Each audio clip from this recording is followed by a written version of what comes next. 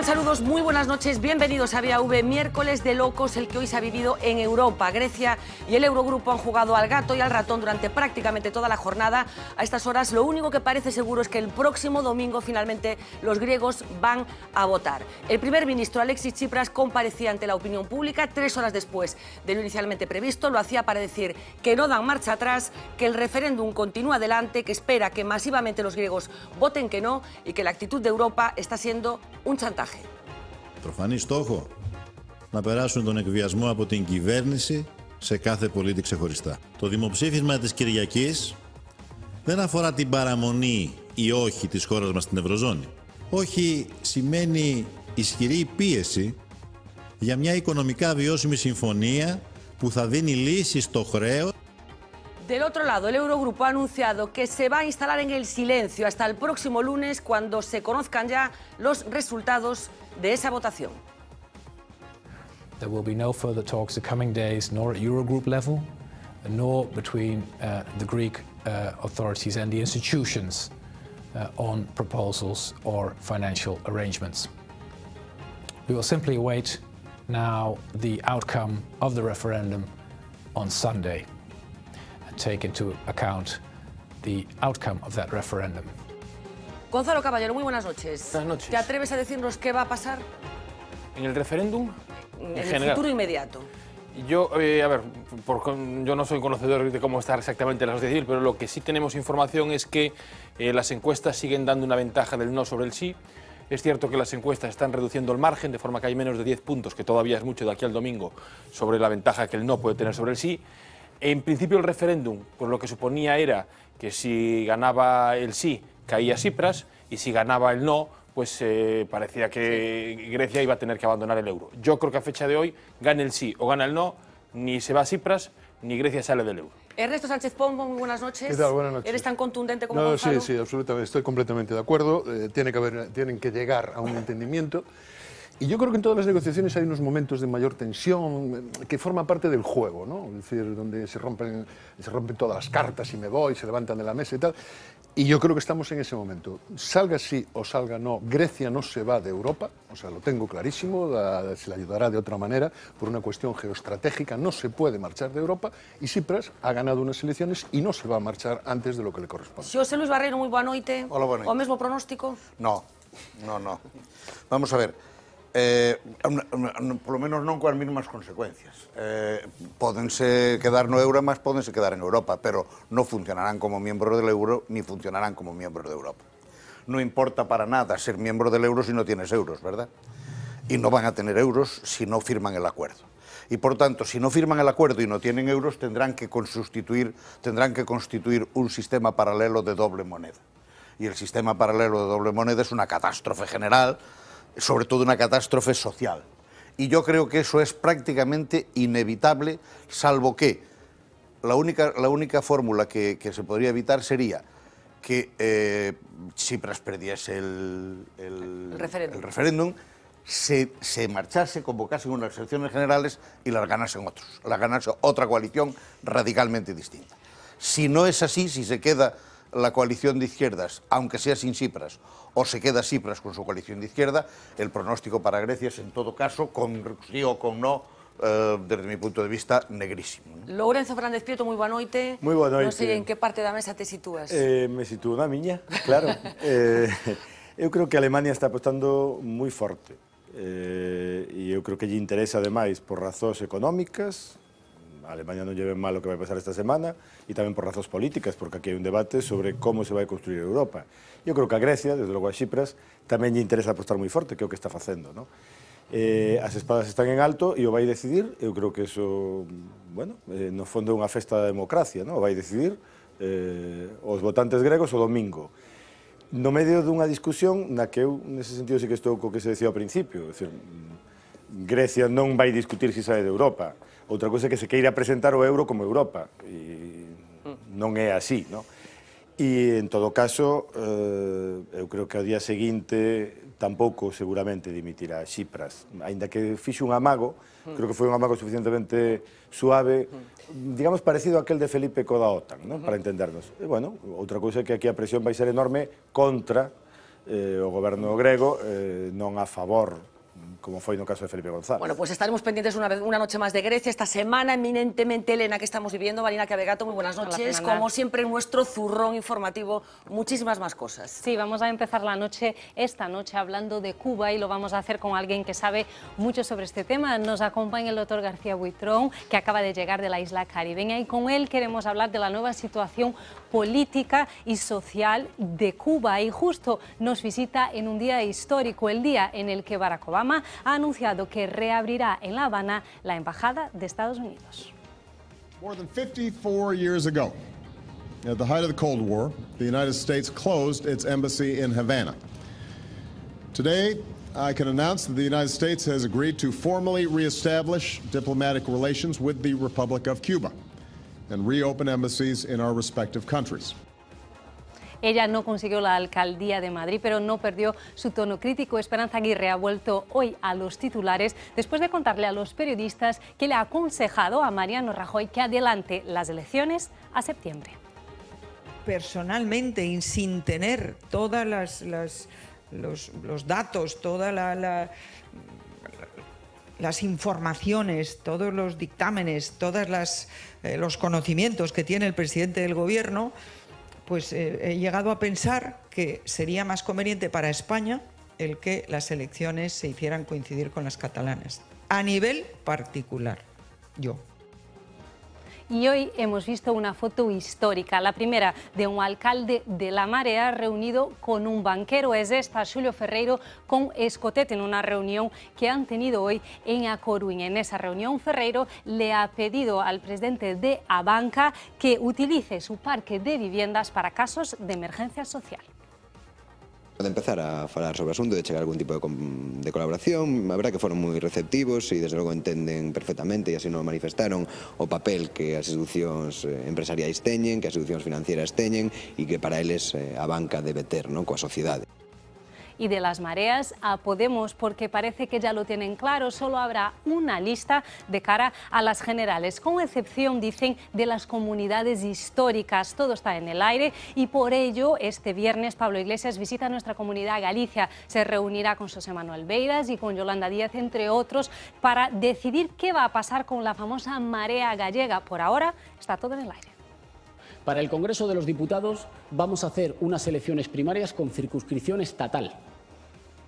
Eso significa que hemos apostado por unas primarias que permitan configurar equipos de los cuales salga después un posible grupo parlamentario. Todo el mundo va a votar en circunscripción estatal, pero vamos a estar muy pendientes, lo hemos hecho siempre en todas las elecciones, vamos a ser muy cuidadosos para respetar las diferencias territoriales, en particular en las nacionalidades muchas críticas a esta última decisión de Podemos y una pregunta, ¿quién manda más, los círculos o Pablo Iglesias? En Podemos todo lo decide la gente, no lo deciden varones. Es lo que, en lo que se fundamenta Podemos, en el debate, en la asamblea y en la participación. Nos empezamos a reunir en círculos. No hay Podemos sin círculos, nunca podrá haber Podemos sin círculos necesitamos a todos los círculos. Los círculos tienen que tener eh, peso, fuerza y decisión. Tendremos para eso que organizar unos círculos potentes.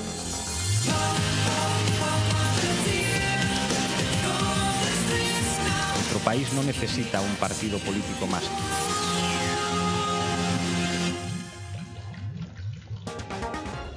Don José García Buitrón, muy buenas noches.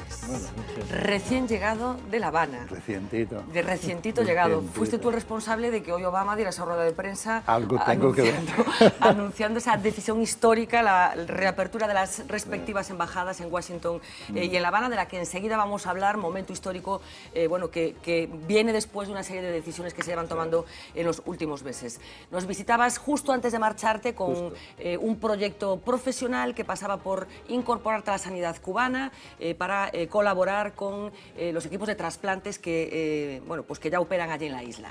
¿Cómo ha sido la experiencia, Pepe? Bueno, la experiencia yo diría que inmejorable, ¿no? Porque trabajé en lo que sé, en un ambiente, yo diría, de estrecha colaboración y de integración con la administración, con los profesionales, un poco con la ciudadanía, es decir, me sentí muy a gusto en mi ambiente, de alguna manera conocido también de aquí. Eh, Tampoco he notado yo grandes diferencias. Y, y, bueno, me ha enriquecido y me ha dado la oportunidad no de ser un experto sobre Cuba, que ya me gustaría, pero bueno, sí de, de, estar viviendo algo que efectivamente allí estaba en el, en, en el ambiente. ¿no?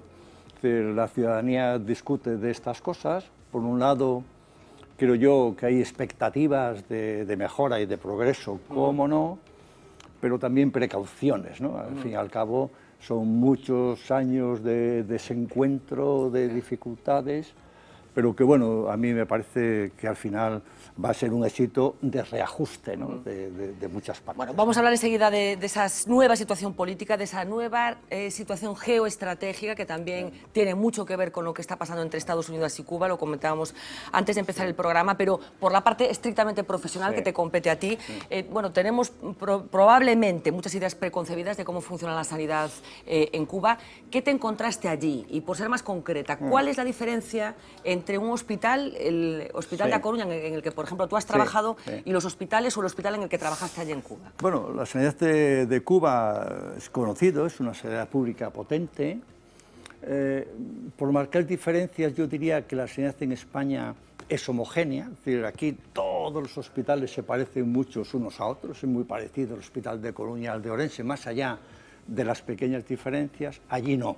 Es decir, allí hay hospitales perfectamente homologables a los nuestros, y hospitales eh, mucho más próximos a países con más dificultades económicas y de desarrollo. ¿no? En todo caso, es una sanidad pública potente, pero que además de lo que sería la asistencia sanitaria, para mí lo nuevo en esta etapa fue descubrir que había otro mundo en paralelo a la, esa sanidad pública, que era el mundo de la investigación, de desarrollo de productos, que tienen un gran impacto eh, económico y sanitario en la isla y que de alguna manera para nosotros desde aquí es un mundo mm, más desconocido. ¿no? Uh -huh. eh, bueno, combinan bien varias cosas, tienen muchas dificultades, es obvio, pero el esfuerzo que hacen y los resultados son, yo diría que excelentes. O sea, que tienen capacidad científica por una parte. Seguro. ¿Y tecnológica también? También, con deficiencias, ¿no? Con deficiencias y necesidades, pero... Eh, Claro, nosotros estamos aquí acostumbrados seguramente a una tecnología, ellos tienen la tecnología sobrada para hacer los trasplantes, y cuando un hospital hace trasplantes está en el top. En el top. y luego ya puedes estar en el top más, ¿no? sí, sí. pero estás en el top. Están en el top. que requiere una sofisticación eh, de... No supongo... están en el top claro. más, pero sí. están en el top. Tienen los medicamentos inmunosupresores, tienen los elementos de diagnóstico, y, y, tienen pues luego dificultades relacionadas pues eso con el transporte, ¿no? Lo que aquí nos cuesta muy poco tiempo desplazarnos de aquí a Valladolid a buscar un hígado, allí es un esfuerzo mucho mayor, porque hay que buscar los profesionales que no tienen transporte, que hay que una ambulancia, que no sé qué. Lo que aquí hacemos en dos horas, ellos tienen que hacerlo en cinco, claro. ¿no? Pero eso es un problema, supongo, es para, un problema. para, los trasplantes, teniendo en cuenta la, eh, claro, rapidez con la que hay que hacer todo. Claro, ¿no? es un problema, pero bueno, se, se lo, lo, suplen de, de, alguna manera y los resultados pues son, eh, yo diría que, que muy buenos, eh, son homologables y es un país que está progresando, ¿no? Fijaros que eh, en esta primera mitad del año, hicimos, digo hicimos sí. porque yo estaba, sí. me siento de alguna manera protagonista, hicimos tantos trasplantes como se hicieron el año pasado en, en Tuacu. O sea que en medio año hicimos todo ¿Y de lo del año estamos hablando? anterior, ¿no? Pues hombre, estamos hablando de que es, van, van, a hacer 200 trasplantes renales o 200 y pico, eh, como 40 trasplantes hepáticos y 10 o 12 trasplantes cardíacos, ¿no? En cualquier caso, está muy por debajo, supongo, de las eh, cifras que son habituales en España, un país en el que funciona muy bien el asunto de los trasplantes. Sí, pero eh, el objetivo marcado es que Cuba va a estar entre los países líderes en, el, en, los trasplantes. ¿Qué es un país líder en el trasplante? Pues aquellos que tienen más de 15 donantes por millón de población, porque detrás de los donantes evidentemente vienen de los trasplantes. ¿no? Cuba partía de 8, este año yo creo que van a llegar a 15 y yo creo que en muy poco tiempo van a llegar a 20. Alemania tiene 12, ¿eh? Claro, por poner un ejemplo. Por poner un Claro, ejemplo. es que- Todo el sistema de trasplantes requiere, lo comentabas, eh, por ejemplo, un, un- un sistema de transportes eh, avanzado para que eh, puedan llegar a tiempo eh, los órganos, pero también de comunicación entre los donantes y los receptores. Sí. ¿Esto lo tienen resuelto? Eh, ¿Cómo es la comunicación, digamos, eh, para que esto funcione adecuadamente? Sí, mm, yo diría peor que la nuestra, ¿no? Digo, peor que la nuestra, vamos, tanto el transporte de los materiales o de, lo- o de la- o- o de los profesionales, eso como te decía, tiene más, tiene más dificultades, porque claro, a mí me avisaban y yo con mi coche iba al hospital y desde ahí me trasladaban. Ellos no tienen coche para el hospital, tienen que ir a buscar a uno, a otro y otro. Y claro, estamos hablando de La Habana, ¿no? que es una gran urbe, ¿no? Eso retrasa mucho las cosas, ¿no? Luego, bueno, se- se- la gente se desplaza en avión para ir a Cienfuegos, igual que nos desplazamos aquí, pero luego hay que volver de nuevo a llevarlos a casa, prom, prom, prom, y eso es una gran dificultad, ¿no? Eh, fuera de eso, mm, todo es parecido, ¿no? Todo es parecido y la relación eh, con los receptores es la misma, hay que convencer a las familias, hay que comunicárselo, hay que El decirles... protocolo es el mismo, digamos. El Sí, protocolo es el mismo. eh, están reproduciendo, yo diría que para bien, el modelo español con la peculiaridad que supone que es uno de los ¿no? mejores del mundo, si no el Eh, mejor yo del diría mundo. que el ¿no? mejor, El del mundo. Hablamos de sanidad pública y hablamos de acceso universal a la sanidad. Eh, ¿Cómo es en estos momentos la atención sanitaria eh, para los cubanos? No, es acceso universal, absolutamente. ¿no? Es decir, todo la- todos los ciudadanos cubanos tienen acceso a nivel de igualdad, eh, más allá de, como digo, de las dificultades o, o- o también de los retrasos que pueda haber en el tipo de patologías que a mí se me escapan. ¿no? Pero en los trasplantes, eh, como te decía, es un sistema que reproduce de alguna manera el de aquí, es un sistema transparente, es un sistema igualitario y es un sistema, yo diría que la población está convencida de que es, de que, de que es un, un buen producto ¿no? de, de desarrollo. ¿no? Y la administración lo entiende también así, ¿no? es decir, encaja todo, ¿no? es decir, Ujú. no es, una, no es algo que sea estrictamente de gusto profesional o de demanda de población, sino que es un sistema integrado. ¿no? Lo vienen haciendo desde hace tiempo, tampoco Mm. es nuevo. Yo diría, ¿cuál es la diferencia? Pues la diferencia, bueno, como nosotros somos de aquí y conocemos nuestra propia historia, pues eh, lo que está pasando ahora en Cuba es que yo diría que está llegando un momento de cierta estabilidad, ¿no? donde las cosas no suben y bajan. ¿no? Aquí hace unos años estábamos acostumbrados, un día para arriba, otro año Sí. para abajo, no sé qué. En Cuba ha sido así, la historia de los trasplantes en Cuba ha sido un día hago 15, al día siguiente ninguno, eh, este año no sé cuántos, y yo creo que de lo que se trata es de llegar ahí a la meseta. ¿no? Eh, hablamos muchas veces contigo, eh, Pepe, bueno, de esa circunstancia que se ha dado aquí en España, que fue esa jubilación de toda una generación de médicos, eh, la tuya en concreto, Mm. que, bueno, como consecuencia de la crisis, de los reajustes y de esta nueva Sí. forma de concebir la sanidad, os dijeron, os tenéis que marchar Mm. y dedicaros a otra cosa. ¿Les sorprendía que una persona como tú, con tu pericia, tu capacidad técnica, profesional, estuvieras trabajando allí y aquí estuvieras eh, jubilado? No lo entendían. Yo no lo entiendo, decían, qué suerte, ¿no? qué suerte, ¿no? Que eso, que eso ocurra allí, porque así tenemos además, capacidad de la contar capacidad contigo. de contar Claro. con gente, ¿no? Es una sorpresa, ¿no? Para, para ellos, porque además allí eh, los profesionales, eh, digo, más allá de las tareas, ¿no? Yo, claro, he andado por los hospitales y los médicos eh, no se jubilan entre comillas, la, gente va cambiando de, de- de tareas, ¿no? Y tienes a profesionales pues, que tienen 80 años, que evidentemente seguramente no están operando en ese momento, pero están dan- dando clases, organizando no sé Están qué, colaborando haciendo- con el Haciendo sistema. tareas, ¿no? Haciendo tareas distintas, ¿no? Yo creo que lo de aquí es un despilfarro. Yo lo entiendo por un lado, pero supongo yo que en el futuro esto tendrán, tendrán que reorganizarlo para poder aprovecharnos incluso del nivel de satisfacción Claro, y no, de porque muchos de nosotros rendimiento, incluso ¿no? lo que querías era seguir colaborando de alguna manera, seguir aportando seguro, al sistema. ¿no? Seguro, ¿no? Mm. Yo creo que estos cortes en España seguramente es un poco antiguo, ¿no? Yo creo que hay que modernizar. Desde el punto de vista personal, Pepe, eh, ¿qué, qué ha significado la experiencia, la convivencia con colegas eh, que yo no sé si entienden la medicina de una forma parecida aquí, si notaste muchas diferencias culturales, si ha habido ese choque cultural o no? ¿O realmente ha sido fácil Mm. integrarte en, en el trabajo de, de esta gente? No, yo me he integrado muy bien, ¿no? yo me he integrado muy bien y bueno, yo lo digo, yo iba ya por los hospitales, pues como aquí, entraba por la puerta y ya sabía dónde ir y estaba, me sentía a gusto y pedía un café y demás, ¿no? Y la relación con los profesionales, mm, yo diría que, que excelente, ¿no? Tienen un problema, es decir, mm, ellos tienen un problema, primero, ahora mismo son pocos, son pocos porque hay muchos profesionales que están fuera de Cuba en, o porque se han ido por, por, opción personal o porque se han ido porque están haciendo misiones en el extranjero y allí En Venezuela, se por nota. ejemplo, que tengo entendido que hay mucho en Venezuela y en Brasil Sí. y en Angola, en, Sí. en medio mundo andan los cubanos. ¿eh? Es un imperio en el exterior. ¿no? A mí me sorprende ¿eh? esa capacidad de penetración en medio mundo. ¿no?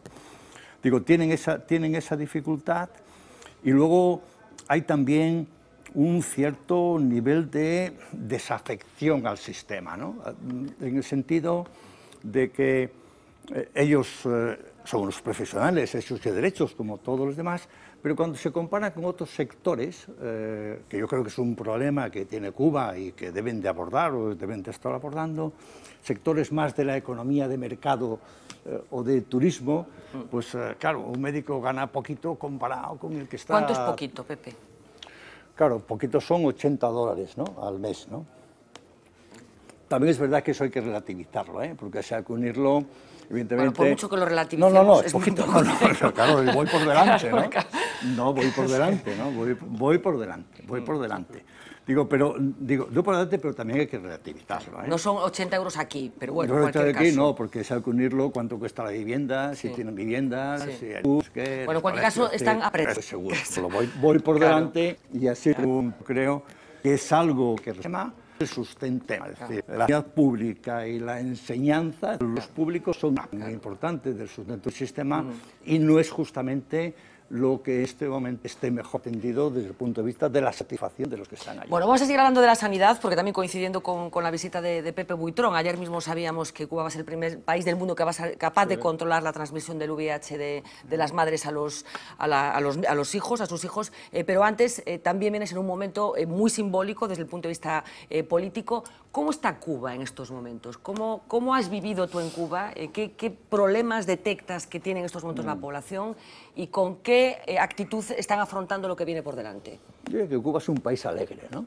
En Cuba hay ritmo, ¿no? En Cuba hay ritmo, la gente, eh, la gente es una gente contenta en general, ¿eh? Digo, más allá, como decía, de ciertas desafecciones, pero la calle es una calle rica, ¿no? Una calle de contento.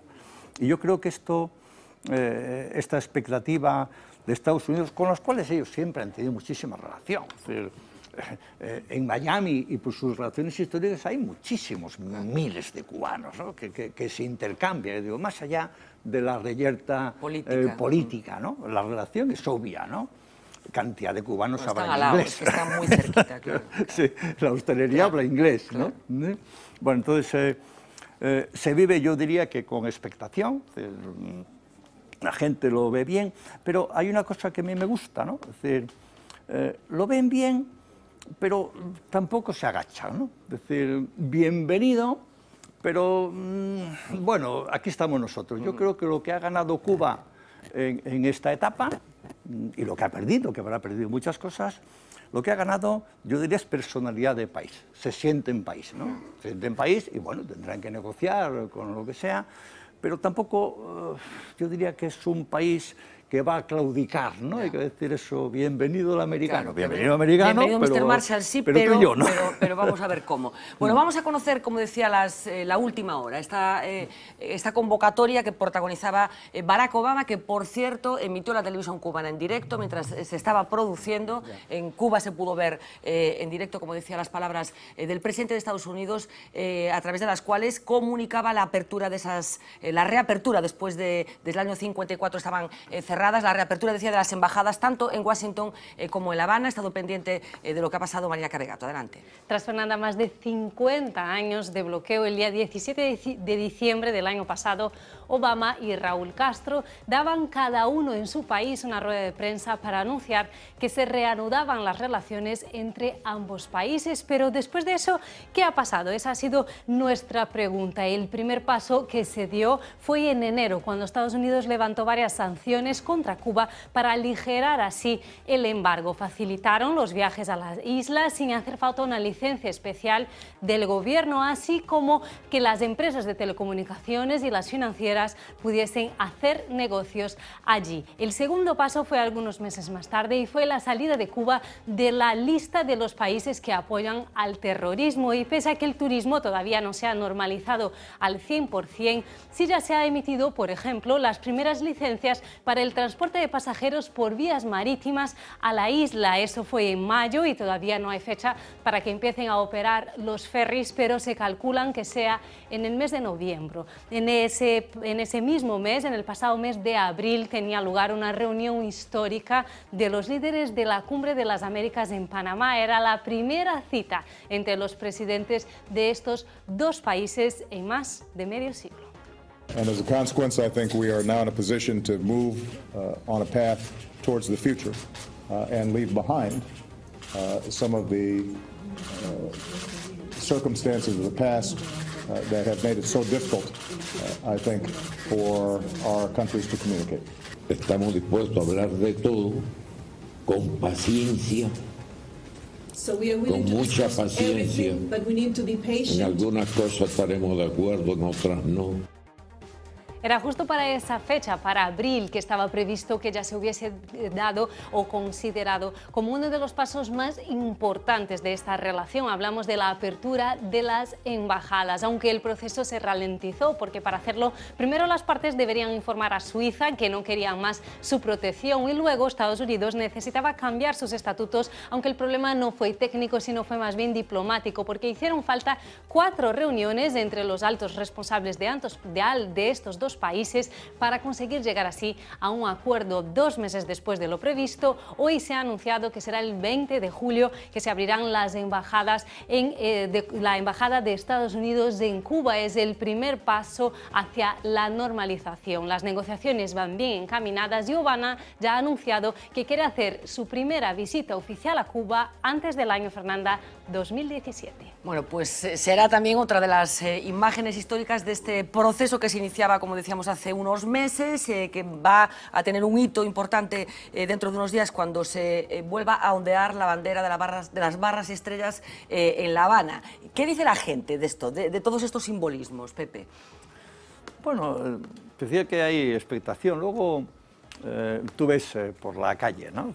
Mucha gente joven, yo creo que es también a nivel, a mí me llama la atención, pero lo entendía como una manera de protestar, ¿no? Pues van con los shorts de la bandera americana, es decir, hay mucha exhibición, ¿no? De símbolos americanos, creo que es una manera de también de, de reivindicarse a sí mismos y de marcar las diferencias, ¿no?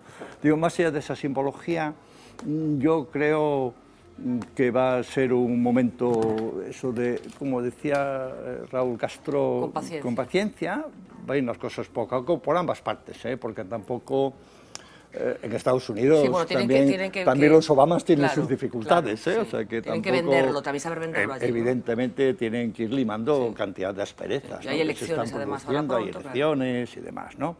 Pero yo diría que desde el punto de vista de los cubanos, de la ciudadanía, bienvenidos y yo, mm, porque además es que fíjate, yo en, en esta etapa eh, he visto cantidad de, de norteamericanos eh, en Estados Unidos, mucho más que, que- que en otras, ¿no? Mm, o sea, se, ha, se ha levantado una gran, una gran expectativa. Yo creo que mucha gente quiere ir a, eh, a- a ver casi lo, lo que es un mito, ¿no? Aquel claro. ese enemigo ¿no? que siempre tuvimos allí.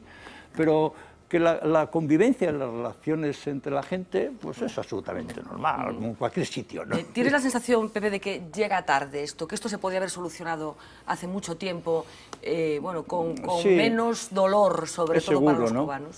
Es seguro, pero un poco lo comentábamos antes, lo que, un poco lo que son las contradicciones, ¿no? Digo, ojalá no hubiera habido bloqueo, pero también es verdad que gracias al bloqueo se ha desarrollado una Cuba distinta, una Cuba con más personalidad, con más tecnología, eh, con más empuje, con más sentido de patria y de país, que seguramente no tendrían si no hubiera habido eh, este, este disparate, Sí, ¿no? sí. que al final ha sido todo ese todo el bloqueo. Lo lamentable es que eh, haya que pasar tantos años ¿no? de, de sufrimiento para luego llegar a esto. Eh, ¿no? tantos Donde- años estamos hablando de que el protagonista por la parte eh, norteamericana se llama Barack Obama, pero es que los protagonistas por la parte cubana siguen siendo Son los mismos. mismos, Yo no sé esto, allí como se ve como, no sé si incrementa de alguna manera la sensación de resistencia por son parte disparates de de la vida, Es, ¿no? es una cosa muy llamativa que tanto Fidel Son Castro como Raúl sí, sí, continúen sí. ahí, ¿no? Exactamente, Es son llamativo. estos disparates de la vida, Mm. ¿no? Donde los malos siguen siendo los malos, pero ya dejan de ser los malos, ¿no? Y- De Fidel bueno, Castro se habla mucho. ¿Dónde está Fidel? ¿Qué, qué presencia tiene No Fidel?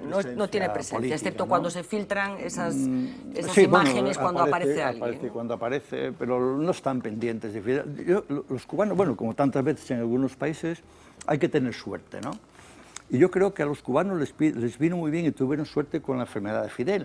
Se le permitió retirarse porque todo el mundo pensábamos qué va a pasar después de Fidel, ¿no? Después de Fidel, claro, cuando hay un régimen autoritario de una persona, se, se va la, la autoridad y se viene abajo el régimen, ¿no? Es lo que nosotros tenemos un poco computado, ¿no? Y lo que era previsible en Cuba, ¿no? Pero yo creo que una retirada que era- se entendía que era una O sea, que sigue ahí, retirada pero no está...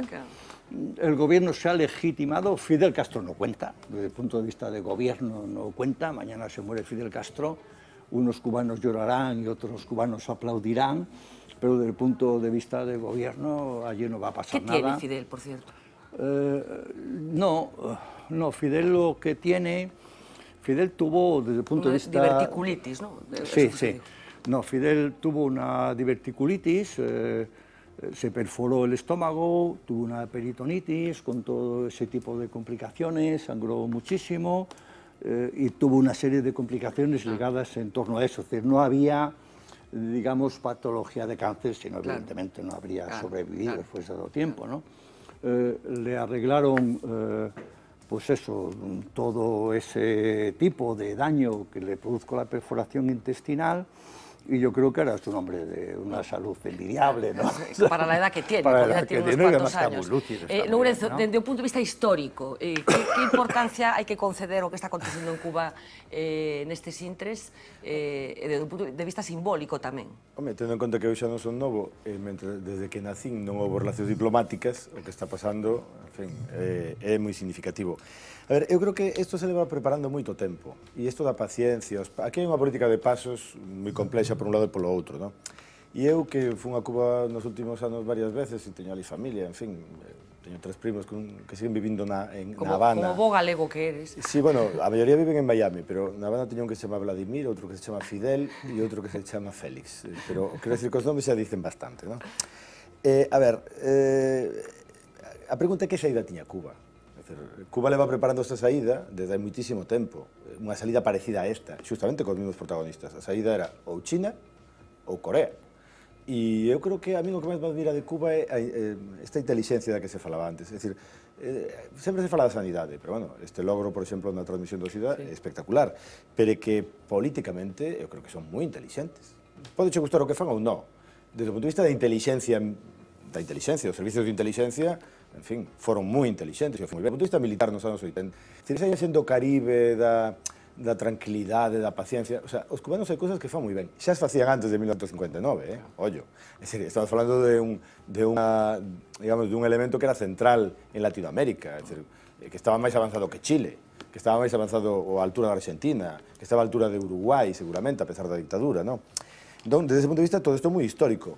Porque é unha sensación que tuve sempre, en fin, a primeira vez que fun foi nos anos 90, no período especial, volví moitas veces, varias veces, e a sensación que tuve sempre, hasta este momento, eh, xa digo, 20 anos, no? e que estaban, o sea, era unha sensación de fin de réximen.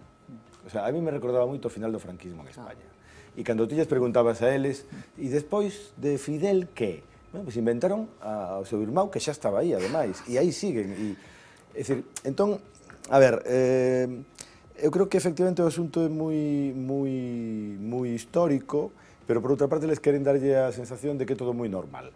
E a miña pregunta, a miña dúbida é, efectivamente, sigue sendo a mesma.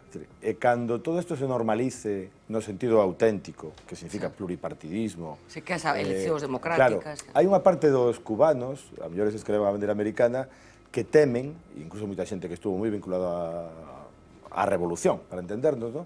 que teme unha salida ao estilo dos países do leste. É dicir, que os servicios de inteligencia, que o partido, que o que queda aí adapte o capitalismo e a normalización e eles do poder se xa unha casta que xeran antes e, e sigan sendo esa casta. Ese perigo existe. En fin, cando ti falas con algúns cubanos moi afíns á revolución, pero moi críticos, eh, plantexan isto desde moito tempo. É dicir, o exemplo soviético xa. o teñen como un temor. Claro, e iso pode ocurrir claro. tamén. Non? É dicir, que En este momento hai varios horizontes e todos son posibles. Bueno, a, a rexión é distinta tamén, non? O, a rexión, o entorno, claro, digamos, o contexto eh, é distinto. A ver, é que sin Caribe, eh, sin Alegría, bueno, bueno, sin esto, rumba, claro, non eh, sin chachachá, non habería, deste xeito. Claro. Non habería estos anos, claro, non? Es decir, claro. Sin ese sentido do humor que, que hai que ter en conta, non? Esa, esas ganas de vivir, esa...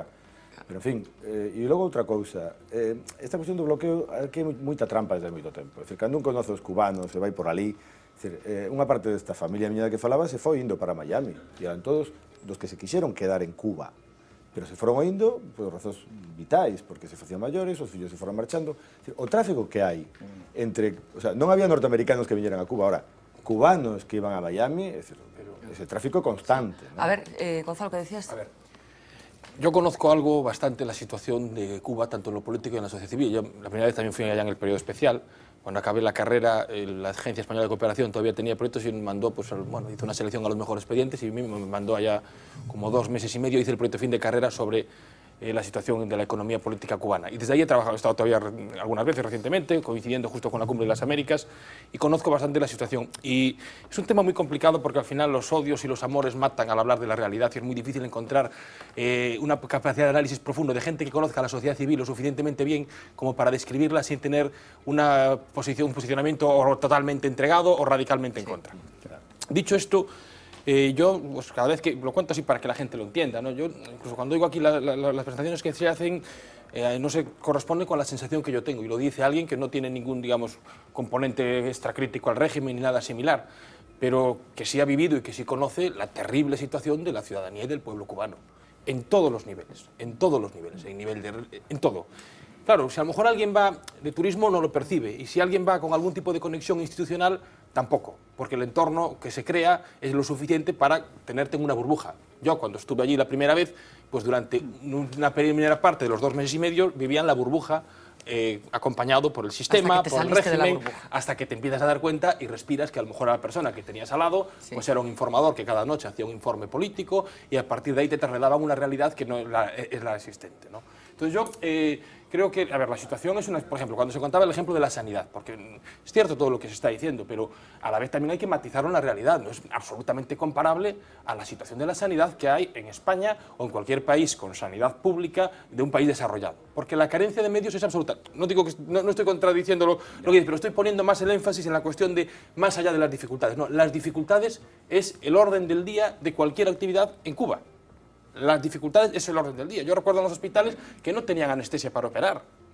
Y esta era la realidad de hospitales. Sí, sí, no sé en qué hospital. En el periodo especial no había anestesias para... Claro, no, no, estoy hablando de la situación real. Ya, bueno, ya, ya, ya. Claro, no, y todavía ahora, claro, decimos, y claro, la impresión que damos es que alguien dice, es que 85 euros es poco, hay que relativizarlo. No, no, es que los médicos dentro de Cuba tienen un diferencial salarial muy por encima de cualquier otra actividad dentro del sistema. Si lo comparamos, perdón un minuto, si lo comparamos con los ingresos de un profesor universitario que cobra 20 euros al mes, el salario de los médicos que han hecho un esfuerzo muy importante de subirlo en los últimos años, tiene, hay que relativizarlo, pero no para decir lo bajo que es, sino para decir que dentro del sector de, de todo, porque todo es Estado, dentro del Estado, los médicos son los que más cobran. Eh, no quiere escucho, decir que no cobre más el que, consigue, de- el que de- consigue un tipo, un- un- una propina de un yanqui que- o de un ciudadano europeo que le da dos euros a alguien que le lleva la maleta y está cobrando en, las propinas de ese día más de todo lo que cobra un trabajador formado y demás. Es decir, que eso rompe la estructura de incentivos del país, eso rompe la estructura de una generación que, ¿por qué se va a Miami? Se va a Miami porque lo que hay es la pobreza.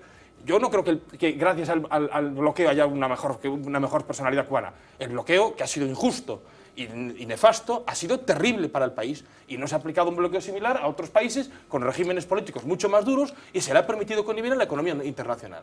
Y eso es una parte de la causa de lo que ha ocurrido. Ahora, en los últimos años, a ver, eh, Cuba, para que entendamos una idea fundamental, es decir, a ver, Cuba, mientras existía la URSS y el sistema soviético, a través de los precios diferenciales sobre el azúcar, tenía un nivel de vida eh, eh, rico. Y aparte de ahí llevaban por los coches, que, ¿cuáles son los coches que hay hoy todavía en Cuba? Los mismos que había en el año 90, cualquiera que vea el parque automovilístico, y cualquier coche, es decir, el coche más viejo que hay, que tiene 40 años, sigue valiendo al cambio todavía 15.000 euros porque el mercado no está liberalizado. Entonces todo es la escasez, la situación dura y la situación terrible. Y esto, el régimen ha hecho una cosa bien Raúl. A Raúl cuando lo eligen es una, era, un, era un, un- un personaje antipático para la ciudadanía cubana. Igual que Fidel era muy querido, era el militar. Pero en cambio ha cambiado su espectro en esta temporada porque ha conseguido un nivel de aproximación y de apertura en el cual están las expectativas. No se habla ni tan siquiera de partidos, de transición política. Eso no está ni en la agenda hoy por hoy del 98% de la población que vive en, la- en Cuba. Lo único que está en la agenda es las reformas económicas que les permitan tener un nivel de vida mínimo. Es decir, si el aceite vale 2 euros y tú cobras 16 euros al mes, pues un un ciudadano medio pues es lo que tiene. No, vamos, coincido en, en la mayoría de tus apreciaciones, pero tengo que matizar algunas, ¿no? Em, eh, yo creo que hay un error que cometemos tantas veces eh, y es comparar mm, a Cuba con Alemania ¿no? o con Suecia. ¿no? Es que no toca. Porque el nivel del país, en la mejor de las situaciones que tú quieras poner, nunca va a ser en mucho tiempo ni Alemania ni Suecia. Con lo cual, evidentemente, todos los servicios públicos y demás van a ser mucho peores que los alemanes o los suecos. Eso es seguro. O los españoles. Los españoles, claro, con perdón. Pues tampoco nos comparemos, tampoco nos comparemos porque igual tenemos grandes diferencias y cada vez más también con los suecos y con los alemanes, ¿no? Que, bueno, yo tengo esa sensación y los indicadores dicen eso. No lo sé, a lo mejor estoy equivocado.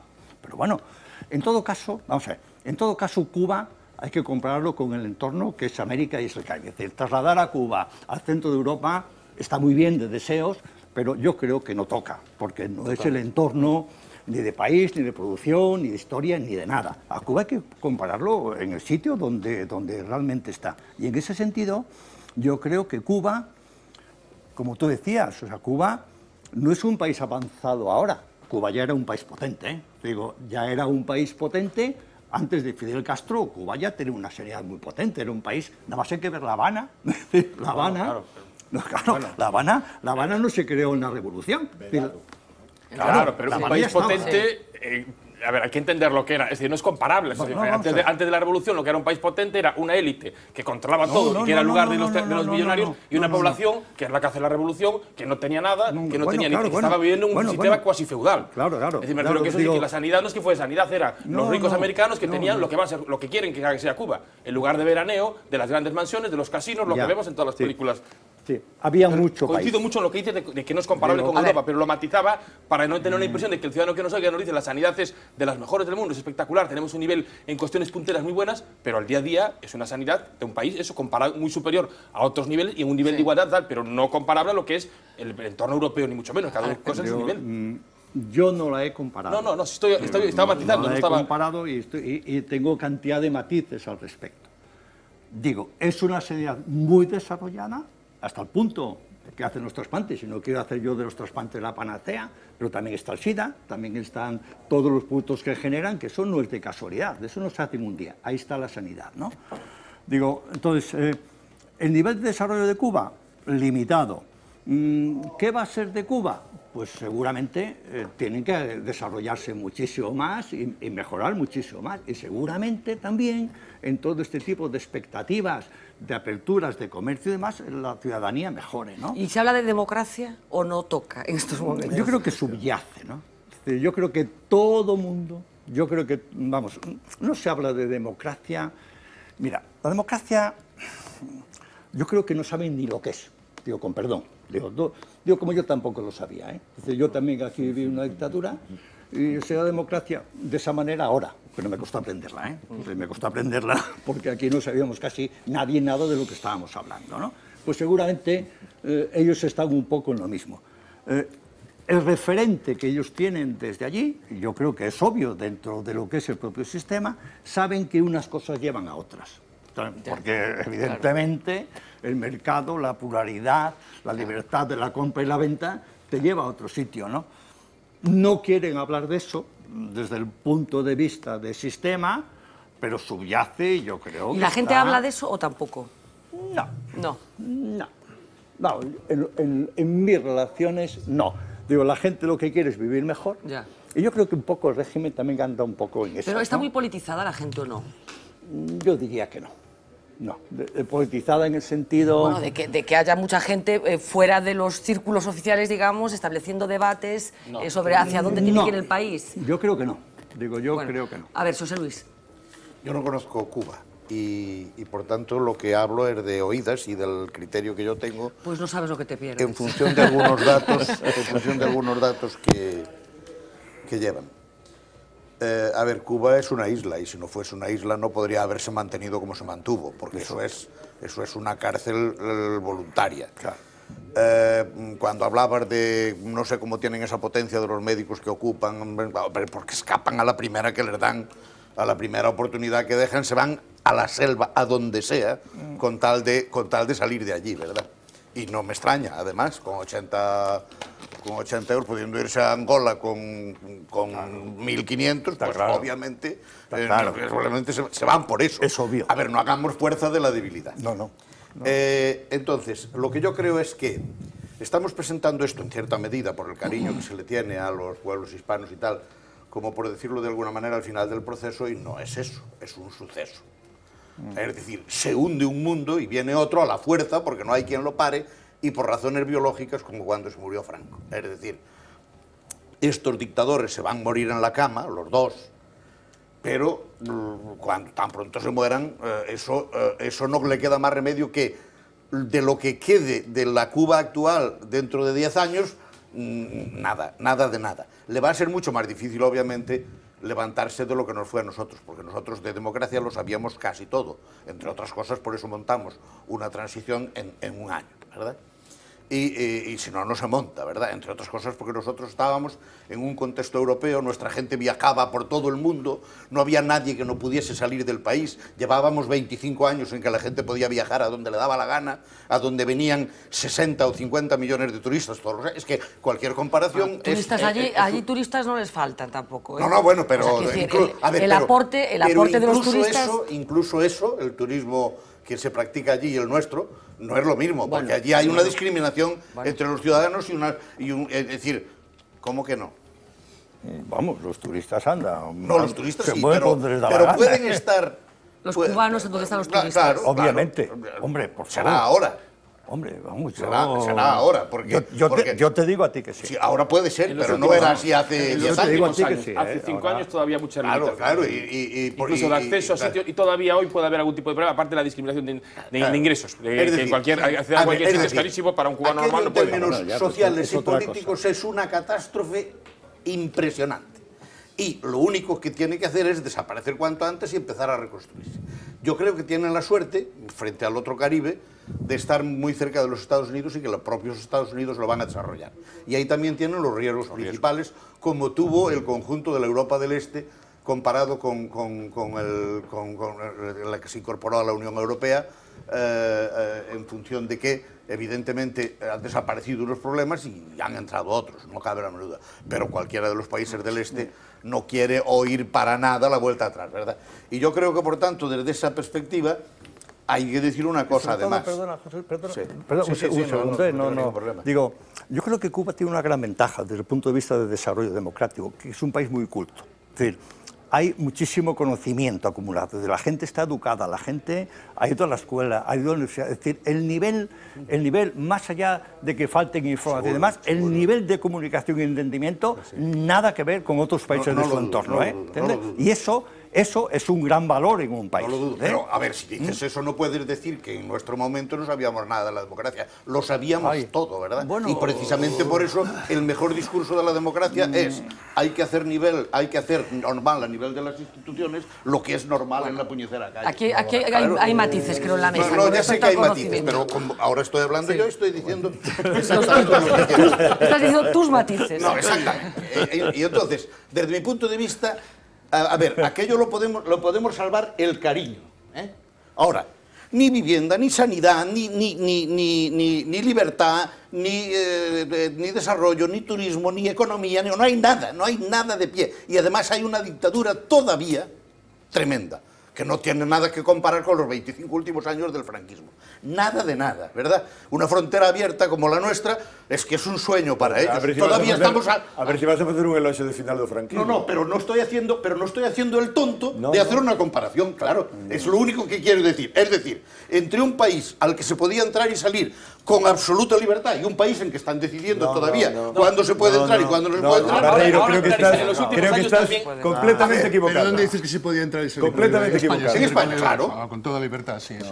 Ah, o sea, tú, tú, tú Sí, sí, recuerdas... no, se, podía, se podía salir, por ejemplo, se podía salir con muchísima libertad a todos los países del este, por ejemplo, en los últimos años de franquismo. a los se países podía del dejar- este no ah, se no, podía entrar. entonces no se podía salir con libertad. No, no, a los países del este no, no se no se podía entrar. salir con libertad. Bueno, Pero mira, bueno, a mí bueno, me parece... si se a mí me retiraban, parece- si se Bueno, a ver, tampoco a mí me podían parece salir, que- creo Vamos es a ver, si queremos pintar la realidad para decir Efectivamente. que Cuba es un ejemplo, pues la podéis pintar. No, yo no, lo no, que quiero no, decir no, es que no, es ejemplo en nada. No, y estoy yo lo que te voy a decir, con tu intervención. Bien entendido que yo no conozco exactamente lo que ha evolucionado en los últimos cinco años, que son los, de, los del En periodo... los últimos años, por ejemplo, la movilidad de Claro, salida ha mejorado- se- flexibilizando. Sí, Sí, sí, todo sí. está A ver, espera, Ernesto eh, y luego... Cuba. Cuba es un país, para empezar, absolutamente admirable.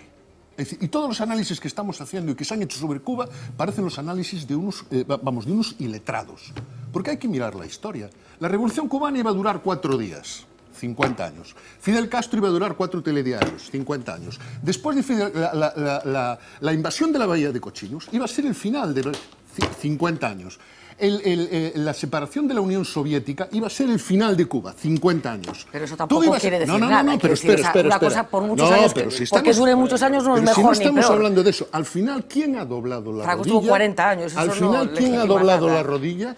¿Quién ha aceptado que un bloqueo no ha servido para nada, a pesar de todo el sufrimiento que estamos todos de acuerdo que han padecido los cubanos? Y a pesar de la situación de pobreza que tiene Cuba, y a pesar de todo eso, que estoy completamente de acuerdo, de que, de, de- de que hay una, una miseria tremenda. Vamos a ver, yo creo que probablemente lo que dice José Luis de la Isla tenga mucho que ver. Es decir, la, situación geoestratégica, geoestratégica tenga mucho que ver. Pero es que de verdad, yo creo que no nos sirven de nada los análisis que podemos hacer de Cuba, porque es un país sufridísimo y diferente a todos.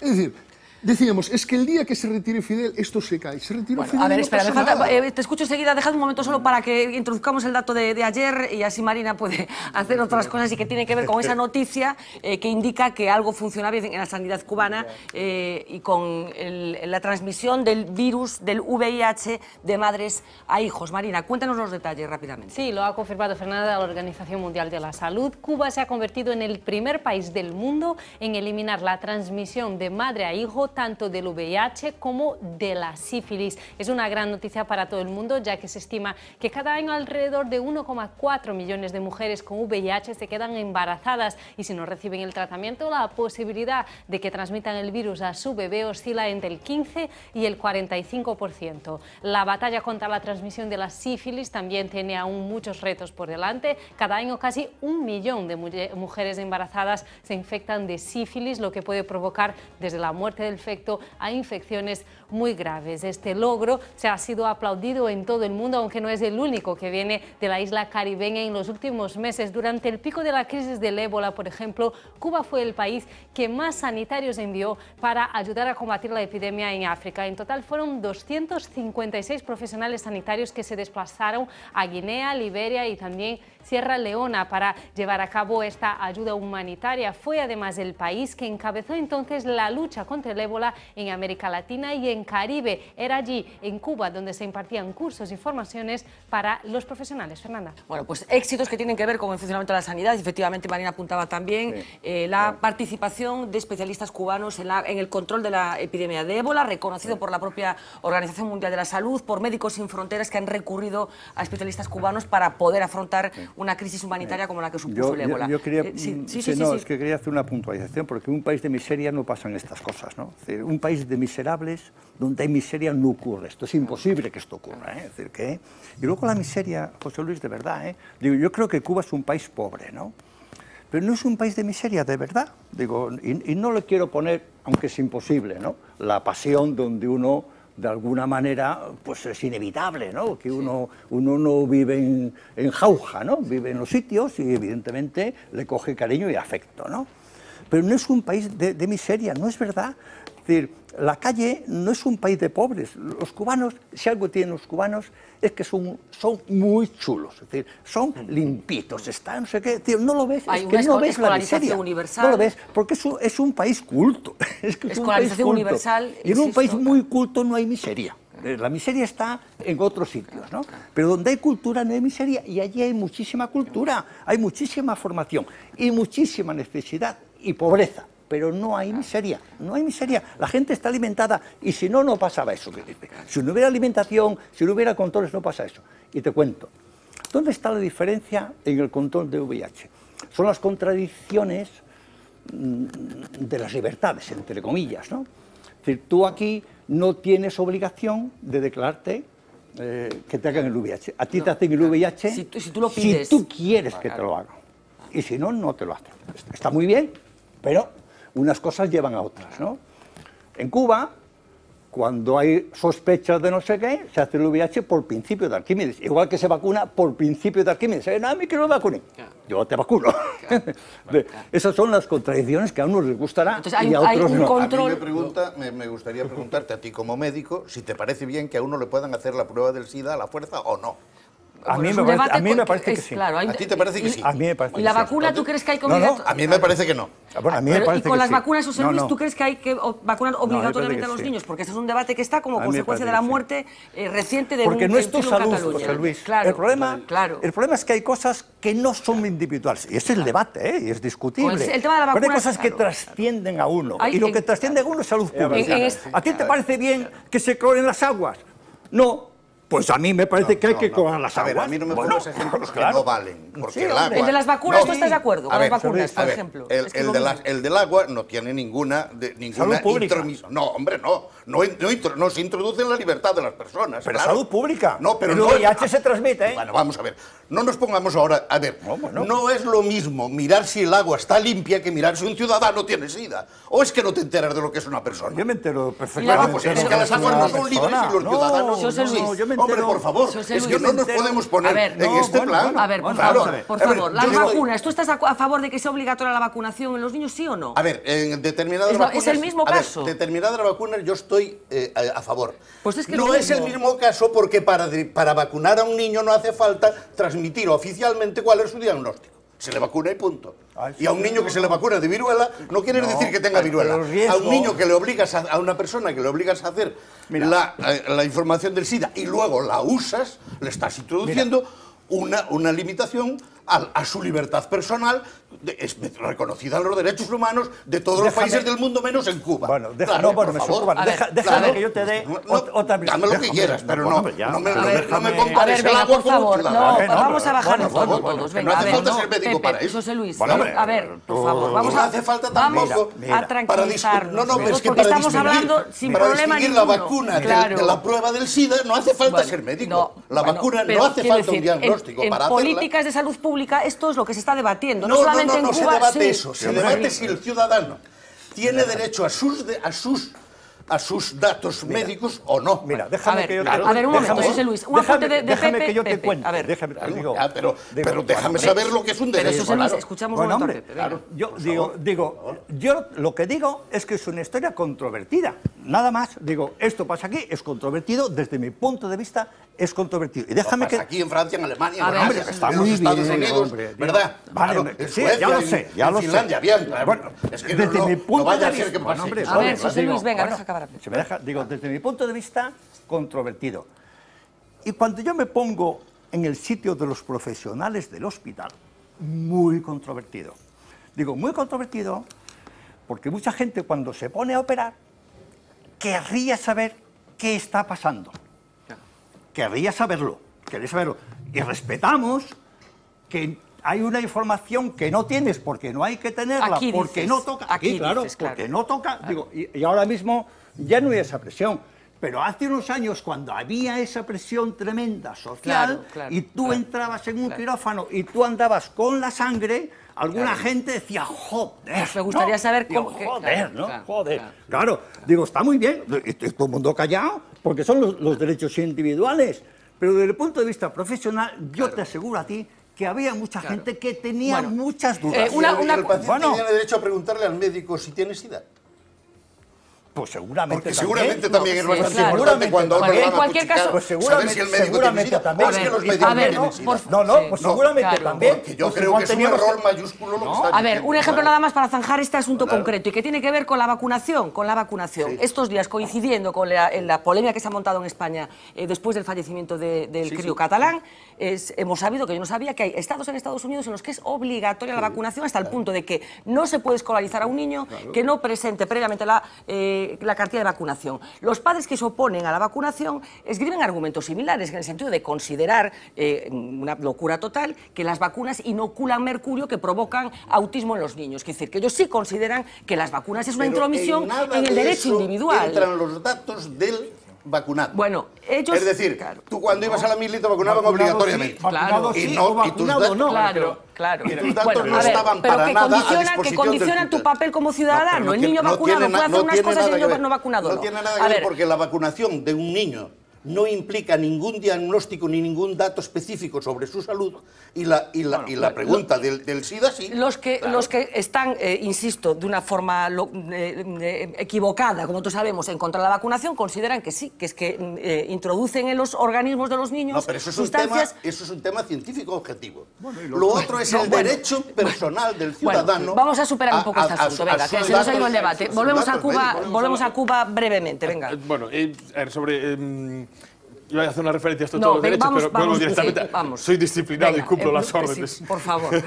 Eh, vale, sobre temática, yo en primer lugar, sin volver a todo esto, pero yo creo que sí, el, el caso de, por lo menos de aclarar este titular que salió en la prensa, que ha hecho Pepe, el doctor, a mí me ha resultado muy ilustrativo, porque yo había leído el titular... Muy y- disciplinado no está siendo. Bueno, ¿eh? pero no estoy llegando a donde iba. deja, O, hombre. estás- o eres disciplinado o no eres disciplinado, pero a medias no, avancemos. voy- voy- voy a ser No, disciplinado. no es muy fácil ser. Yo soy disciplinado y luego hago lo que me da la gana. Pero no me quites la palabra, ¿eh? No, pero por Tú eso, llámame lo que no quieras, te- pero no, me la quites quito, la palabra. pero Lo vamos demás a está todo Cuba, admitido. otra vez, venga. Vale, eh, decir, eh, sobre el, el tema de Cuba, a ver. eh, yo explicaba antes que Cuba durante muchos años tuvo el soporte de la URSS. Luego tuvo otro soporte que no ha salido de la mesa, que ha sido Venezuela. Venezuela ha sido un soporte muy importante, sobre todo en la época de Chávez, eh, en la medida que cuando el petróleo estaba muy alto de valor y que Venezuela tenía las cuentas muy bollantes, ha servido un poco para compasar en los últimos años la resistencia.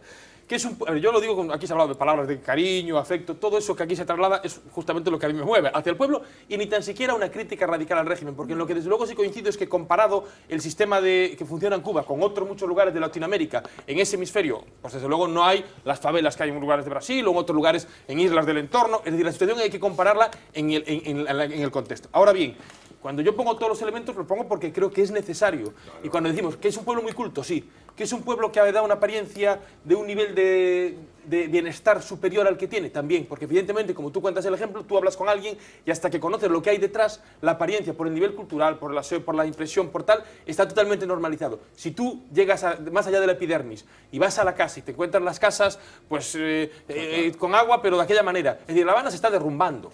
En, lo, en lo que va del último año se han caído... derrum- no, no, pero el último año, es decir, el nivel de caída... No, derrumbada. derrumbada desde hace años, pero en el último año el nivel de caída de edificios que ha habido en La Habana es in- in- incomparable a ningún otro año. Y no tienen ni posibilidad porque no tienen ni, ni energía para hacerlo, Sí, había, ni había, un plan, había habido un plan de, Que- que de no, sea, recuperación de entonces, edificios que participaban Yo- varios yo, premios. eh, no es por tampoco hacer la No, controversia, pero estoy sí. de acuerdo con todo lo que estás planteando. Sí. Pero decías, no hay miseria. Yo creo que ha sido un, país que ha vivido, eh, no digo en la miseria que hace eliminar la posibilidad de alimento, pero yo he vivido unos años allí, gente de veintitantos años, estudiantes, profesionales y demás, que a lo mejor llevaban 15 años sin probar una sola vez la carne, ni de pollo, ya no digo la de vaca. ¿Eh?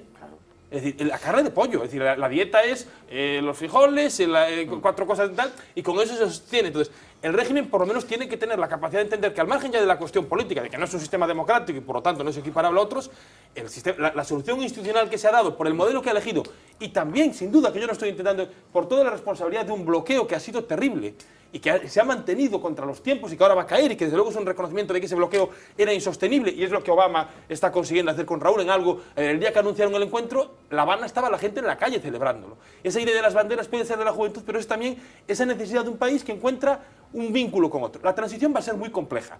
Yo no tengo claro, José Luis, si después de los Castro el régimen se cae o no, porque ya sabemos que por lo menos eh, la dictadura personalizada ha encontrado un mecanismo para sobrevivir y puede ser que el sistema, pues por ejemplo este Bruno que es el embajador tiene muchas papeletas en el equipo, es decir, que pueda volver a hacer otra operación y que acabe persistiendo si al final consigue lo que también algún día tendrá el fin, lo que consiguen los regímenes, y es si consigues crecimiento económico puedes tener una cierta balsa de aceite hasta que el crecimiento genere una clase media que luego pida demanda Bueno, política. valor. en eh, este momento el debate político o la gran crítica política no está en el país, lo que está es Quiero las decir, necesidades los- económicas. el, el este efecto momento, péndulo en la determinados países ha producido, hablábamos antes del ejemplo de, de Rusia, de dónde venían y a dónde han ido. Yo creo que la agenda está en la reforma económica para que la gente pueda sobrevivir, tener cierta calidad de vida y sobre todo la dualización de la economía, que es terrible. Do- do- dos datos para dar. Primero, eh, se está hablando por... eh, a ver, Cuba es de los pocos países del mundo que tiene un sistema de dualidad de moneda. Hay la moneda, del, el, el CUC, que es el peso cubano para el extranjero, y la moneda nacional para lo que pagan allí, que no compran más que las viandas. tres. Sí. Ahora se está hablando de que igual se fusionan. Todo esto lo que se está generando es una dualización de la sociedad. Es decir, el que tiene acceso al turismo, si el nivel medio de ingresos son 20 euros al mes, imaginaos que cualquier botones de hotel que lleva la maleta le dan los 3 euros y eso rompe los incentivos de una sociedad. Eso es algo terrible. Yo creo que el régimen lo ha entendido. Es cierto que cuando hubo una ola- oleada de reformas anteriores que lo hacía Laje y Felipe esos los, Sí. un momento en que todos los reformistas, Raúl eh, Fidel, los defenestraron, los grabaron. Bueno, en cualquier caso sí que ha habido, ha habido, por ejemplo, eh, hay ya pequeñas experiencias de propiedad privada, tengo Por entendido. ejemplo, la propiedad privada. Ahora la- la vivienda es algo que nunca era propiedad privada. La Trinidad creo que se ha convertido en una especie de laboratorio, ¿no? La De- vivienda de- empieza a ser propiedad privada. El mercado agrario lo liberalizaron lo re- y tal. Eh, hay cier- pero son esfuerzos en que se da un Ya. paso adelante y han dado paso atrás. Parece que ahora Tito. los pasos van hacia adelante. A ver, sí, a mí me gustaría decir algo, porque o asunto se pone moi interesante. Eu creo que mm, efectivamente temos simpatía, pero eh, a mí o que me interesa non é o aspecto económico. E unha vez máis nesto, é unha sensación de que me recorda a final do régimen que eu vivín eh, a, a teño desde sempre. E insisto nesa sensación, eh? non, non é nada máis. Pero Cuba, xa que, que é un de, efectivamente é un desastre, é unha dictadura. A revolución é un mito do pasado. E ademais, eh, eu creo que para mal dos cubanos teñen un régimen moi inteligente. Como era moi, moi inteligente o régimen franquista, ¿no? e despiadado Entón, cal é o... Eh, en que vexo eu incluso esa equiparación? Mira, hai unhas declaracións que eu sempre cito de Fraga, do ano 74, por favor, a dos, unha sí. famosa entrevista, sí. que Fraga decía claramente eh, a democracia en España é inevitable. Bueno, a mí me gustaría que alguén en Cuba dixera isto, porque o que están é como no 59, dicindo, vamos a solucionar o problema económico e a tirar. E unha vez que solucionemos isto, o outro se arregla. E o problema de Cuba é a democracia, a mí non me cabe ninguna dúbida. Chegar aí, porque poden chegar e facelo. E tamén coincido, e non había, en fin, canto máis o vexo o estudio, máis claro o teño. É dicir, non había esa... esa eh, é dicir, que a democracia para eles? Bueno, terán que saber o que é, efectivamente. Hai unha cousa que, me, que, me, que me, me gustaría destacar. Nos últimos 20 anos ou 25 anos, eh, o réximen cubano fixo algo moi parecido ao réximen franquista, que foi despolitizar radicalmente a sociedade. Efectivamente, a xente non fala de política, Porque cando fala de política, fala dunha política bella, que xa non existe, e non creen nela. E os novos non falan de política, os novos teñen unha xenreira absoluta respecto ao que lles ocorre. Si consiguen darlles, eh, digamos, unha boa situación económica, bueno. se pode, pode creerse que o réximen mm, se salva, pero tamén creo que non hai bueno. máis salida Dejadme que pongamos un punto y seguido en este asunto del que vamos a seguir hablando, entre otras cosas porque algo tenemos que ver los gallegos con los cubanos y eh, mucha gente, eh, como Tito, tiene eh, familia allí con la que mantiene efectivamente el contacto. Sí. Desgraciadamente, en este momento de transición que está en un país importante como Cuba, España, y lo hemos Sí, dicho está- aquí, y la Unión Europea plano. están fuera de Claro, la agenda claro. principal Ah, bueno, del claro, país claro, y lo va a estar ocupando Estados Unidos claro, por vínculos claro, sociales, económicos, por claro, conexión. es La cerrazón política ha ido a la confrontación en vez de estar con- sirviendo de puente Claro. desde España No, no, la propia a, una- Galicia, a un la país, propia a una sociedad. Eso- eso es muy importante. Otros años, Estábamos- otros estábamos años ahí- España estaba en la agenda política de la vida política, de la vida social y de todo. Hoy por hoy, esa retirada de la política internacional española ha hecho que hoy por hoy Estados Unidos e incluso otros socios europeos estén ocupando espacios y que simplemente Mira, con la visita que ha ido Rueda recientemente, ha ido el ministro, ahora Matute se acaba de conseguir la primera línea de ferries que van a conceder entre, entre Estados Unidos y La Habana, pero desde luego la política internacional española en Latinoamérica sigue suspendiendo. En fin. Vamos a hacer una pausa publicitaria. Eh, vamos a seguir hablando de cosas que pasan en el mundo, de geopolítica y de lo que está pasando en Grecia, en esta especie de eh, juego de tronos que eh, llevamos contemplando desde hace unos días, eh, con esa convocatoria de referéndum que hoy ha confirmado Alexis Tsipras.